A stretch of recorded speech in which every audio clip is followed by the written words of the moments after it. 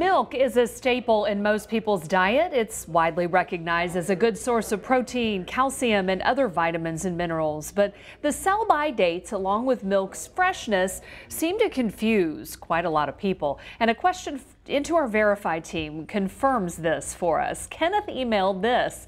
For a long time, I drank 2% milk. I started noticing, though, it's sour before the best by date. I checked my refrigerator temperature, but there were no problems with it or anything else in there. I decided to go back to whole and noticed it actually goes past the date. So does 2% milk spoil faster than whole milk? You know, it's a really great question, Kenneth. We so appreciate you writing into us from skim to whole and everything in between. We know they taste differently, but are there other differences that we can't taste?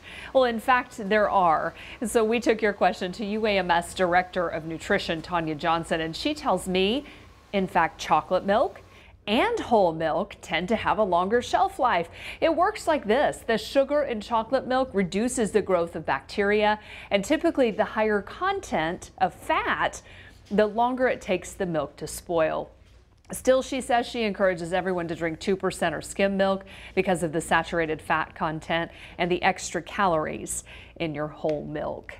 So we can verify that 2% milk does in fact spoil faster than whole milk. So if you have something you'd like us to verify, it's really easy. Just email us, verify at thv11.com, or you could reach out on social media.